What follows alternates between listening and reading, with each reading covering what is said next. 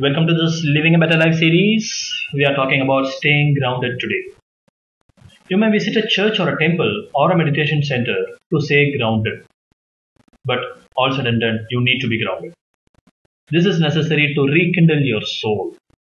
Staying grounded with whatever spiritual force you want to be is necessary to rekindle your soul. This pilgrimage for refreshing your soul can be a minute every day or a week once in a year or whatever interval you choose. But this is essential and necessary that you rekindle your soul periodically. Likewise, you can also have a pilgrimage to refresh your mind and body. Take a break to talk to your mind. Give a break from the busy thoughts it has been doing all through the day. Spend time in solitude and silence. Give a break from useless worries. Go to a park to jog or a playground for a game or to a gym to train. Keep fit and exercise well. This is a break that you give to your body. You need to take care of your body because it is a temple in which the soul and minds reside. Within you, there is a different mind. Within you, there are multiple brains, each of them working in different direction to take care of your home, to take care of your friends, to take care of your work. You are thinking, you are doing multi-processing.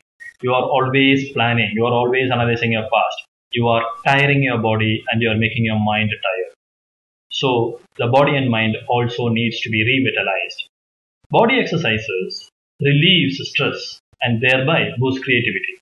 It also keeps us healthy and so no downtime due to illness as well as longer lifespan so as to achieve more. Life's greatest pleasures are the simplest ones. Take time to enjoy a rain. Take time to enjoy a sea breeze in a beach. A sound mind in a sound body is one of the simple pleasures that we can look forward to. Give a break to your body, mind and soul. Stay grounded. Go to gym, go to temple, go to a silent place, but give a break to your body, mind and soul. Take care of not only your soul, but your body and mind. Exercise regularly. Maybe just swimming or cycling or walking on the seashore. Bring more of you. Live your life fully. Be at present. Stay grounded. Thanks for watching. Hope to see you again.